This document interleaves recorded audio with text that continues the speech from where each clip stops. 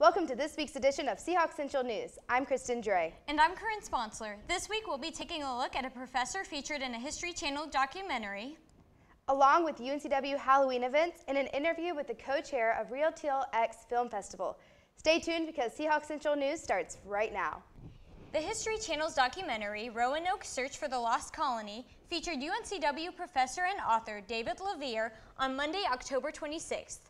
LaVere spoke on his discoveries in his 2011 book, The Lost Rocks, The Dare Stones, and the Unsolved Mysteries of Sir Walter Raleigh's Lost Colony.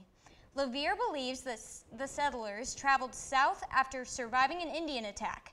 Expert stonemasons Jim and Bill Vieira and maverick archaeologist Fred Willard also investigate the Roanoke mystery in the documentary.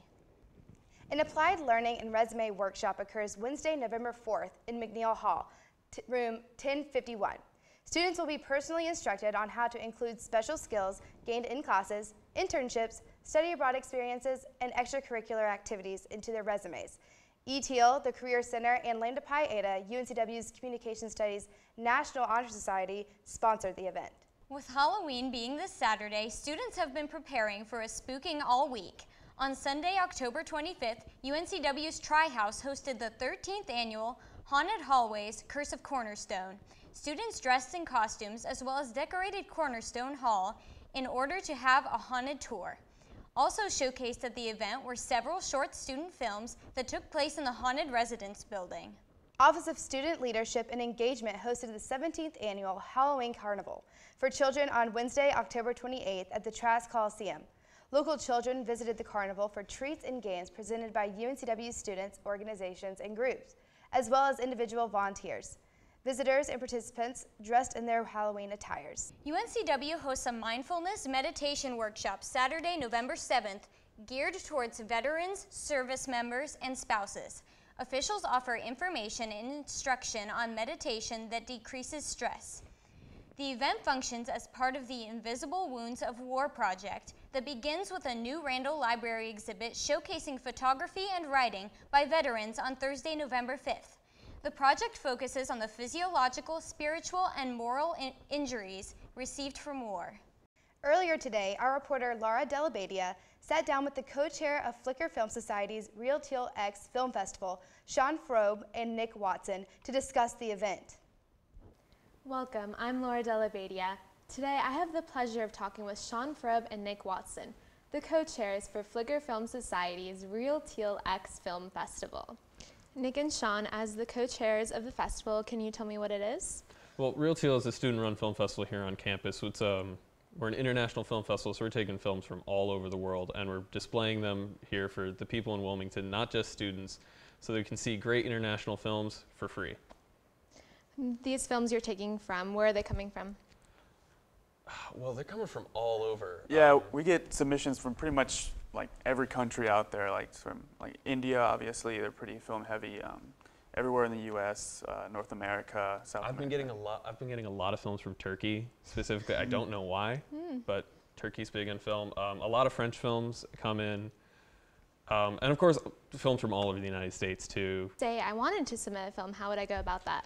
Well, if you want to submit a film to us, you go to filmfreeway.com/festival slash reelteal, and then oh, well, obviously you have to register an account with Film Freeway, but that's super simple.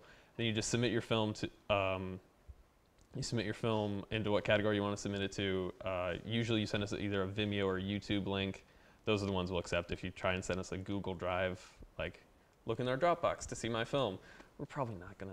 That's probably for the security of our, our members' computers, we won't accept those. So we need like a Vimeo link or some kind of it plays in a player on Film Freeway, but that's super easy to do. Yeah, and as long as it's 15 minutes or under, we accept it. Like it can't be 1501, it has to be 15 or under. That's just like it just fits the format of our festival. Um, it'd be too time consuming to do like anything over 15. So we try to give as much variety as possible from like every, like, we try to get like diversity in our festival. So we try to accept as many films as we can within our uh, time frame of our program. So 15 is about our max. So. Besides being under 15 minutes, are there any other criteria for submissions? Um, well, we have some things. If you're a foreign language film, we generally do require that it has English subtitles just for exhibition purposes. Um, And of course, there's some content stuff. Since we have to display it on campus and we don't have any restrictions of who can come, we don't have like a um, rating from the Motion Picture Association, whatever it's called. So we generally try to accept things that are a bit more friendly for all audiences. So like no excessive violence, no excessive swearing. Quentin Tarantino probably couldn't send us a film, as much as that breaks my heart. Um, so yeah, like as long as it's not excessively violent, excessively has excessive language, um, excessive nudity, that kind of stuff. So as long as it'd be comfortable to play in Lumina, we can accept it. Once you get the submissions, how do you decide which ones to show in the festival?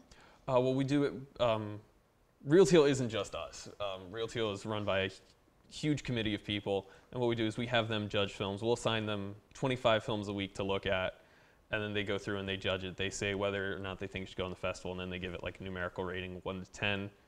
Um, and we'll we'll take usually usually to get into the festival you need to be around like an eight. So we're picking really good films to go in our festival. Do you have any dates or deadlines picked out already?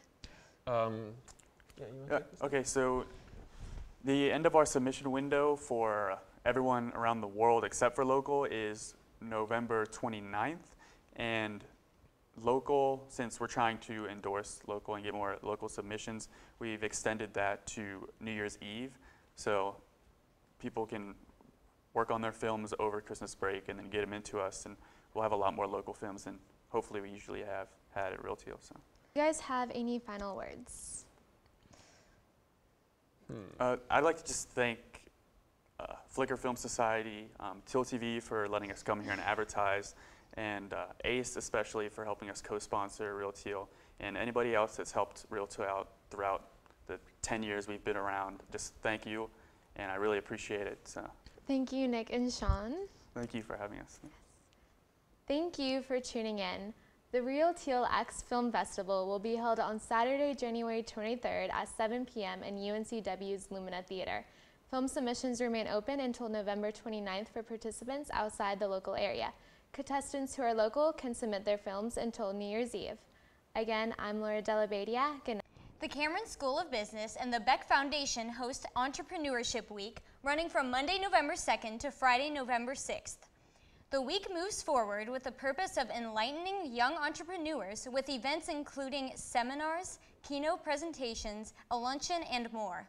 All, ev- all events are free and open to all UNCW students, but seating is limited. For more information and to pre-register for events, visit cbs.uncw.edu slash eweek. The Pre-Law Society and the Pre-Professional Program presents Law School Day on Monday, November 2nd in the Burney Center. Representatives from law schools throughout the country will visit students and answer any specific questions about their programs. A panel will also be held where representatives discuss application procedures, getting into law school, and how to prepare as an undergraduate student, and more. For our weekly student spotlight, Anne McClellan submitted this photo of a cloudy day in the South Harbor Marina in Southport, North Carolina. McClellan titled it Two Worlds Collide. You can be our eyes and ears on campus in the Port City area. Send us any bits of information you would like for us to report or investigate on, as well as submitting your photos and quotes, all to tealtvnews at gmail.com.